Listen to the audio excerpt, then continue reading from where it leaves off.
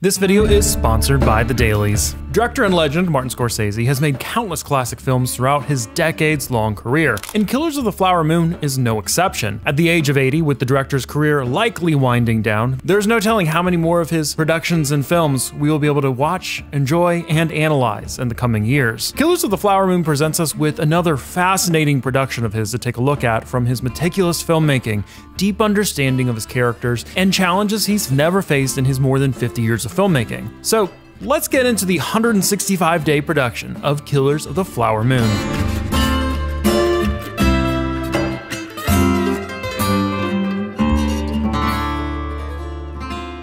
Movie originated as an adaptation of the book Killers of the Flower Moon, the Osage Murders and the Birth of the FBI. And the craze around this book created what Deadline called the biggest and wildest book rights auction in memory, involving numerous competitors such as Paramount, Sony, New Regency, Warner Brothers, Netflix, and more. Everyone from the blockbuster to the indie scene wanted their hands on this story. In the end, though, Imperative Entertainment a newcomer to the industry just being established in 2014, bought up the rights for $5 million in 2016. The book tells the story of J. Edgar Hoover, the first director of the FBI, in his days as investigator for its predecessor, the Bureau of Investigation, attempting to solve a conspiracy of murders related to the oil business, and Imperative believed that it was a narrative worthy of an A-list cast and crew, looking to recruit Martin Scorsese to direct, Leonardo DiCaprio and Robert De Niro to star. The initial plan was that production could begin in 2019, but progress on this movie muddled along slowly, with the trio deciding to focus on the development of The Irishman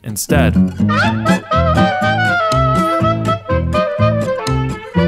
2019 turned out to be a year of pre production for the movie, with Imperative arranging a deal with one of the runners up in their bidding war over the original book, Paramount to finance and distribute the upcoming movie. With the financials in place, DiCaprio and De Niro confirmed their attachment to the film, and cinematographer Rodrigo Prieto announced that principal photography was expected to start in March 2020. But of course, we all know what happens next. We have a new name for the coronavirus. The World Health Organization has officially called it COVID 19. With the COVID pandemic at its infancy, the film quickly ended up in financial trouble, with Paramount reportedly growing weary of a steadily growing budget, estimated in April 2020 to be over $200 million. The spiraling costs forced Scorsese to reach out to other studios to rescue the production, with potential names at the time including Netflix and Apple. And of those two, Apple was selected to aid in the financials, leading to an Apple TV Plus distribution for the film as an Apple original.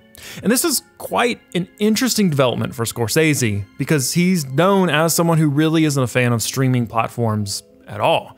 Only a year after the deal in 2021, he penned an essay called To Maestro, to Harper's Magazine, denouncing a lot of the impact streaming platforms have had on the industry, particularly his view that art forms were being boiled down into generic content for business by figures with no knowledge of the art, with human curation being replaced with mindless algorithms, leaving him unsure of what cinema was becoming. No matter what you think of streamers, you can't deny the irony in the so called digital destroyers of art coming to the rescue of Scorsese's art.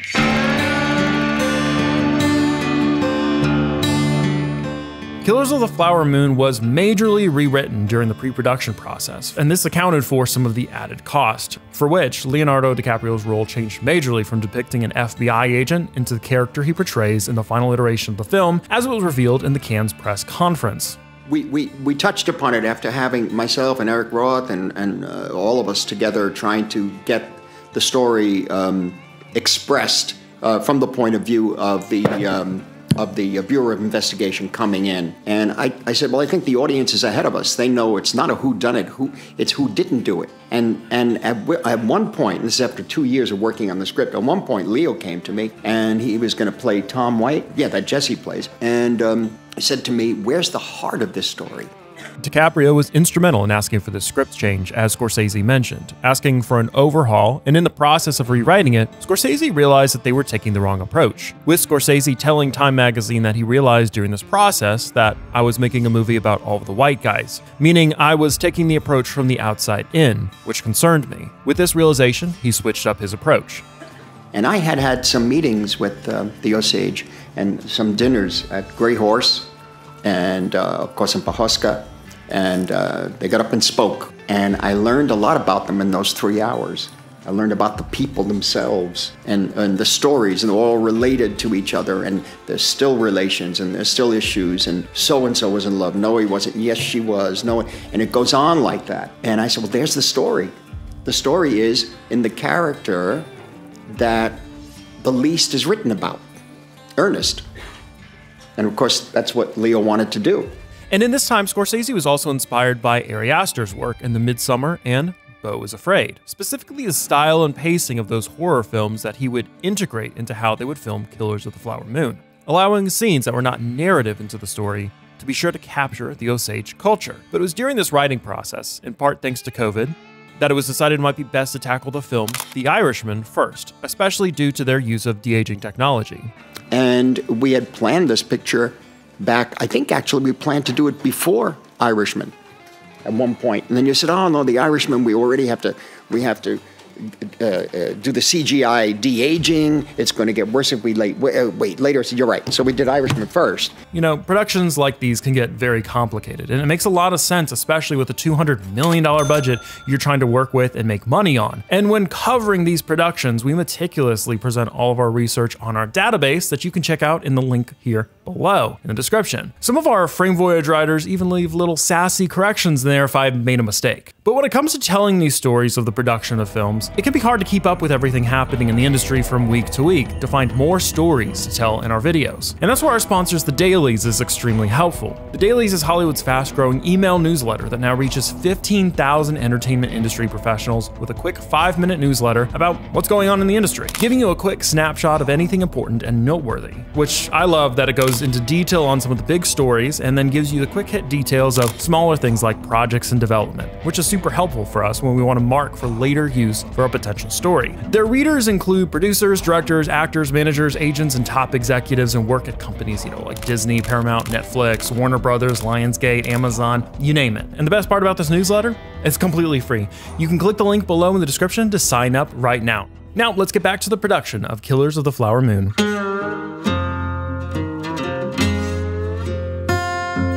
Production began in April 2021 under difficult circumstances during the COVID 19 pandemic. However, the team could finally get their hands dirty soon, with costumes sorted out and final casting decisions made. A shooting period from February to September that year would start, and that with a 55,000 square foot production space rented in the Osage County, Killers of a Flower Moon would turn out to become a product of epic proportions. With a 400 man and woman crew building sets, clothing characters, and operating lights, microphones, and cameras, A-list celebrities, an army worth of extras with some days on set requiring 8,000 people, and The Killers of the Flower Moon involving a story surrounding Native Americans. All of this was being done with cooperation and consultation from the Osage tribe people, including Chief Standing Bear, who was greatly invested in the retelling of The Killers of the Flower Moon story. Early on, I asked Mr. Scorsese, how are you going to approach this story? And he said, I'm going to tell a story about trust on, between Molly and Ernest, trust between the outside world and the Osage, and a betrayal of those trusts, deep betrayal. And uh, my people uh, suffered greatly, and to this day, to this very day, those effects are with us. But I can't say on behalf of the Osage Marty Scorsese and his team have restored trust, and we know that trust will not be betrayed. Trust in handling a movie about indigenous tribes with a respectful and faithful representation of culture is paramount for a historical film, which is why the collaboration between the filmmaker and the Osage people was sought out from the beginning. The, the first thing when uh, the, the book was presented to me and the, the script, I automatically understood. I said, well, if we go anywhere near indigenous uh, nations, we have to be very, very respectful. I got to tell you. I mean, you just have a first meeting with the chief standing bear, and then you have another meeting, and you have a dinner, and they say they get up and they they they say a prayer, and there's a ritual, and I was so moved, and this is what grounded me, and I knew what I heard, what their values are about love and respect and loving the earth, really understanding how to live on this planet. Uh, I found that the values were so important to me.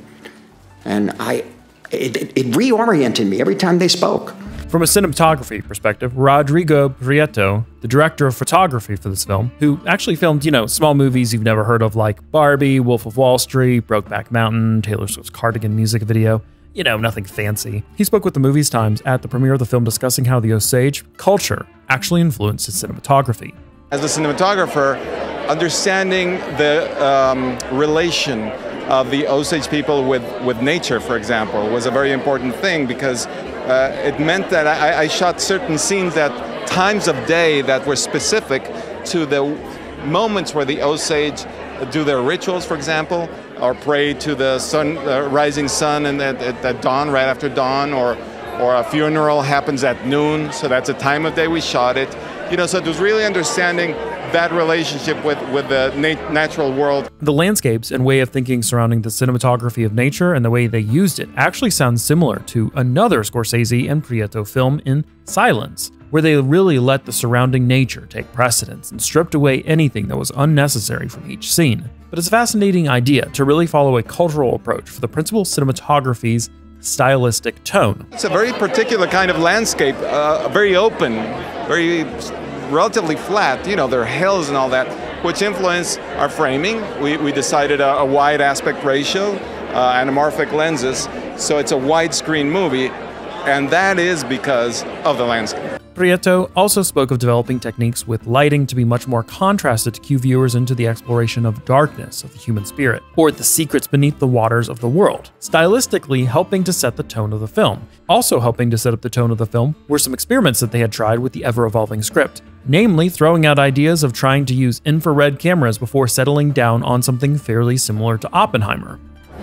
Sí, eh, de hecho aquí se diferenciar la perspectiva de los, eh, digamos, descendientes de los europeos, ¿no? de los blancos, digamos, eh, visualmente de la perspectiva de los Osage. Entonces, todas las escenas que son exclusivamente Osage, sus ceremonias o los momentos que están ellos con sus familias y sin los blancos, el color es totalmente naturalista. Fue con los descendientes de europeos, lo hice, una técnica que eh, re, reproduce los inicios del color.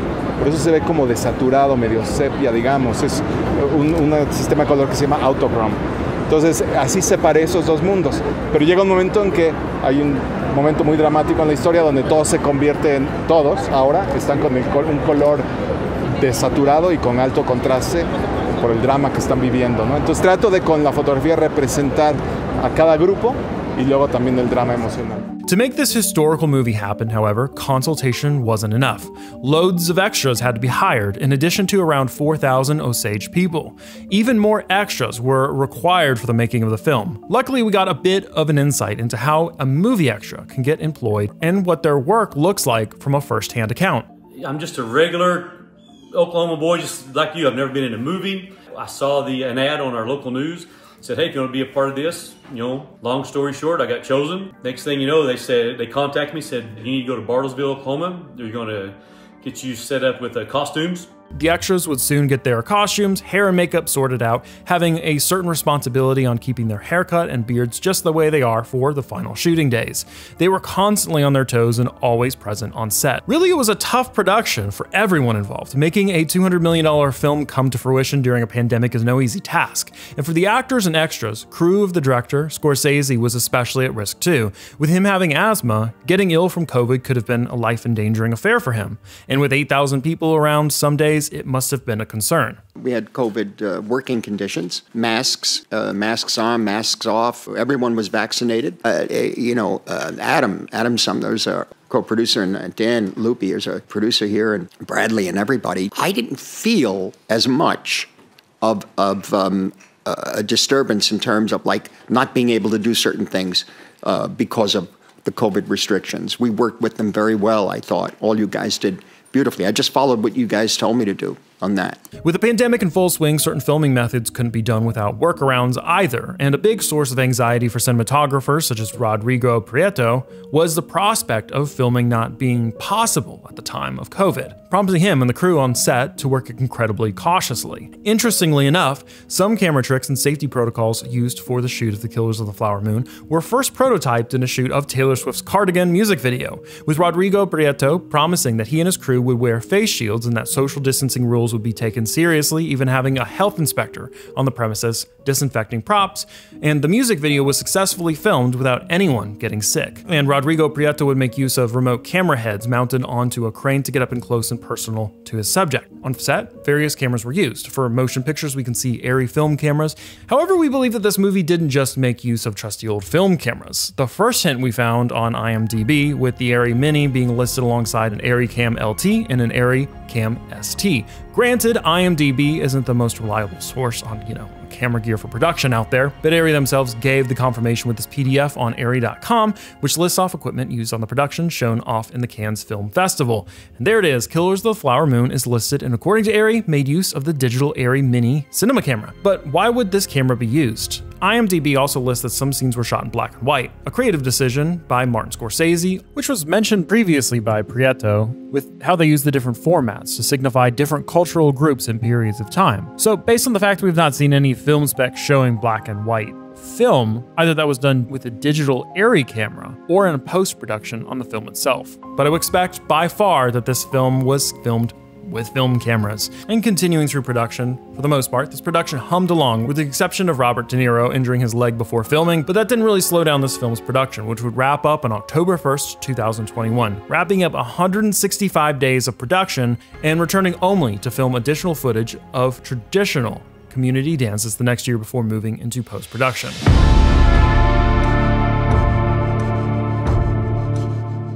Final edit of Killers of the Flower Moon reportedly was something truly impressive, coming in at a 3.5 hour runtime and the film receiving a standing ovation at the Cannes Film Festival. It also received rave reviews from critics. If the tomato meter is anything to go by, this one is a hit. Although Scorsese has had to go up against criticism the film's very lengthy runtime of three and a half hours, which he justified by calling out binge watching of TV, saying, People, it's three hours, but come on, you can sit in front of your TV and watch something for five hours, insisting that cinema should be given some level of respect as well. And I think we can all point to many a film over the past decade that has felt rushed and edited down to not even making sense anymore just to get down to some arbitrary number. And speaking of a fascinating production resulting in a film that could have benefited from a longer runtime and potentially a TV show adaptation, The Creator, check out our video on its production here.